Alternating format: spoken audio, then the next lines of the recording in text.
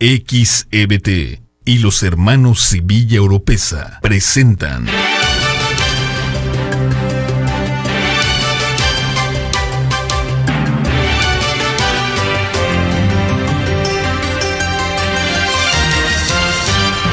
Son las 7 en punto de la mañana. Esto es Telereportaje, edición número 21822.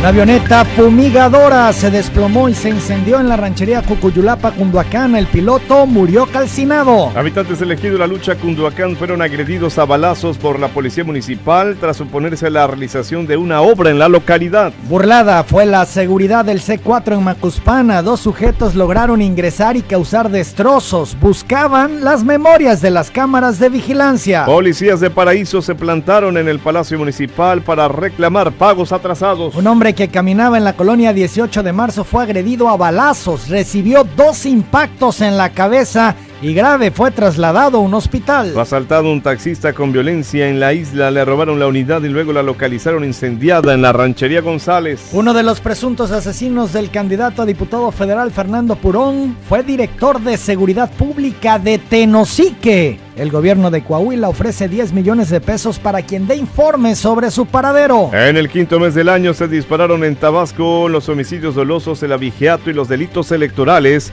según la última actualización del secretario ejecutivo del Sistema Nacional de Seguridad. El Tribunal Electoral advirtió que la delincuencia organizada está decidiendo quiénes deben ser los candidatos en el proceso electoral y que podrían definir a quienes van a ocupar distintos puestos públicos. El candidato del PRD y PSD al gobierno de Morelos, Rodrigo Galloso, adelantó su voto a favor de López Obrador. Vladimir Aguilar, integrante del CEN del PRD, previó las derrotas de Ricardo Anaya en la elección presidencial y de Alejandra Barrales en la Ciudad de México. Beatriz Gutiérrez escribió una nueva canción para su esposo Andrés Manuel en la que invita a los mexicanos a armar la patria para todos. Se definió. El senador del PRI por Tabasco, Humberto Mayansca Naval, aseguró que su voto será para Andrés Manuel López Obrador y Adán Augusto López Hernández. Algunos integrantes de la estructura del PBM en centro anunciaron que por no tener candidato al gobierno apoyarán a quien abandera la coalición por Tabasco al frente. Sobre el tema, el PBM invitó a sus militantes a esperar a que el Consejo Político Estatal delibere si habrá o no sustitución de candidato al gobierno. Georgina Trujillo inició ayer en Tenosique sus cierres de campaña. La dirigencia estatal de Morena rechazó categóricamente la conformación de grupos de choque para violentar la elección del primero de julio a cómo acusó el PAN. Anoche los consejeros del IEPC y representantes de partidos verificaron las medidas de seguridad de las boletas electorales que se usarán el primero de julio. Una aplicación móvil para que el ciudadano pueda votar si está a favor o en contra de una iniciativa de ley presentó la candidata del PANAL a la Diputación Federal por el cuarto distrito Jimena Salazar. La Fundación Colosio realizó el foro Salud y Bienestar para las familias. Se pronunciaron en contra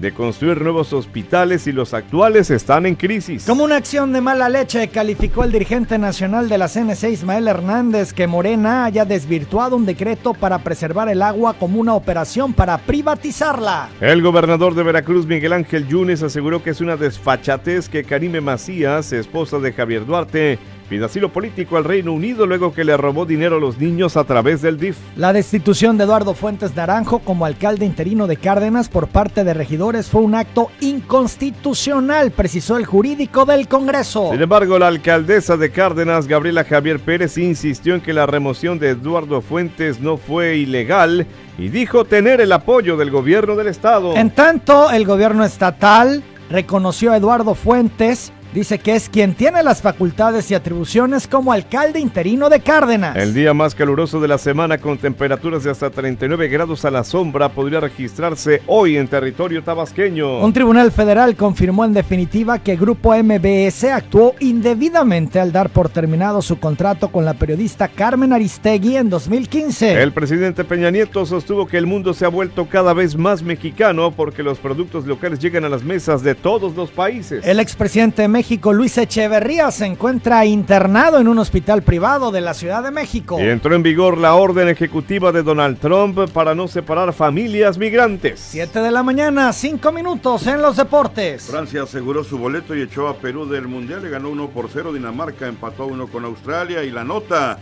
Croacia derrotó 3 por 0 a Argentina y está prácticamente eliminada la selección albiceleste en estos momentos. Brasil contra Costa Rica, más tarde Nigeria, Islandia y Serbia contra Suiza en el Mundial 2018. El Real Madrid tiene la pina al Chucky Lozano después del gol ante Alemania y está listo el calendario de apertura 2018 del fútbol mexicano de primera división. Arranca el próximo 20 de julio. En la serie final de la Liga Mexicana, ayer Yucatán volvió a ganar tres carreras por cero a Monterrey y está arriba en la serie dos juegos a cero. En el béisbol de grandes ligas, los Yankees derrotaron a Seattle cuatro carreras por tres. Boston derrotó a Minnesota 9 por 2 y es el primer equipo en llegar a 50 triunfos en el mejor béisbol del mundo. Las selecciones de fútbol americano de México y Estados Unidos se unieron en el Keep Families Together.